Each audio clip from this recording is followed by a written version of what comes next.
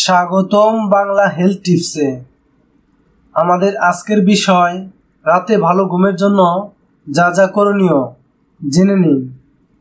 রাতে ভালো ঘুমের জন্য কতগুলি নিয়ম মেনে আপনাকে চলতে হবে? শরীর ও মনের জন্য রাতে ভালো ঘুম হওয়া খুবই জরুরি। যদিও অনেকে রাতে ঠিকমতো ঘুম হয় না। বিনিদ্র রাতের কষ্টের জের সারাদিন চলতে থাকে। মাথা ধরা, চোখ বাড়ি ক্লান্তি, বারবার হাই তোলা, মেজাজ বিগড়ে যাওয়া সহ নানা সমস্যার প্রভাব পড়তে শুরু করে।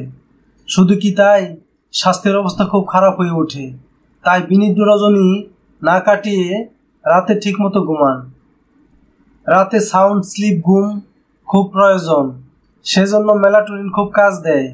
মস্তিষ্ক থেকে এই হরমোন নিশ্চিত হয়, ঘুমোতে সাহায্য করে। শুধু তাই নয় মেলাটোনিন শরীরের অন্যান্য হরমোনগুলিকেও নিয়ন্ত্রণ করে। তাই প্রচুর পরিমাণ টমেটো ও অলিভ অয়েল খান। রাতে ভালো ঘুমের জন্য শোয়ার সময় আলো জ্বালাবেন না। শোয়ার সময় স্মার্টফোনটি টেবিলেই রেখে দিন।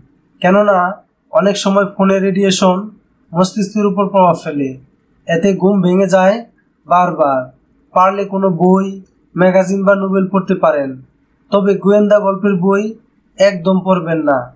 উত্তেজনার বসে ঘুম উড়ে যাবে। ঘুমানোর সময় অনেকেরই কম্বলের বাইরে পা বেরিয়ে যায়।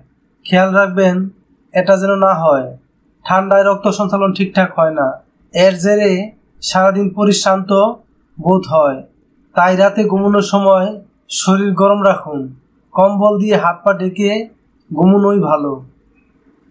যদি আমার এই ভিডিওটি আপনার ভালো লেগে থাকে তাহলে ভিডিওর নিচে লাইক দিবেন কমেন্ট করবেন এবং ভিডিওটি শেয়ার করে সবাইকে জানার সুযোগ করে দিন এবং স্বাস্থ্য বিষয়ক আপডেট পেতে চ্যানেলটি সাবস্ক্রাইব করে রাখুন। ধন্যবাদ।